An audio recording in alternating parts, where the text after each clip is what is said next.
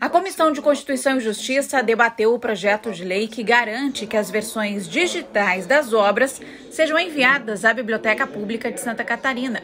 Por se tratar de uma proposta de interesse público, o texto foi aprovado.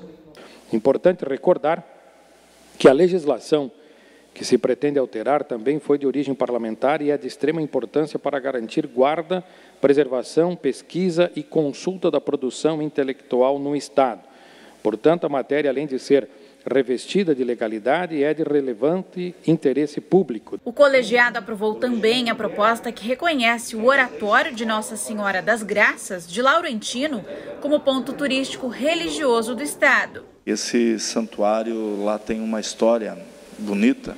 Né?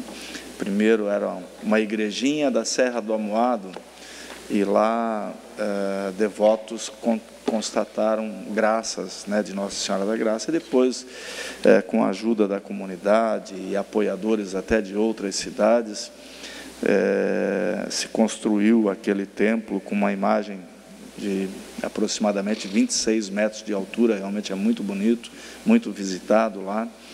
E, e realmente nós temos que reconhecer e incentivar, porque o turismo religioso é uma das coisas mais bonitas que existe.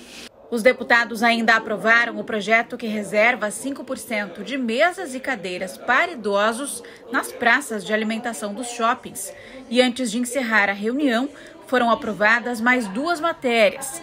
A que reconhece o município de Painel como a capital catarinense do Pinhão e a que denomina prefeito Azizo Flores da Cunha a rodovia SC 408, no trecho entre os municípios de Major Gersino e Alfredo Wagner.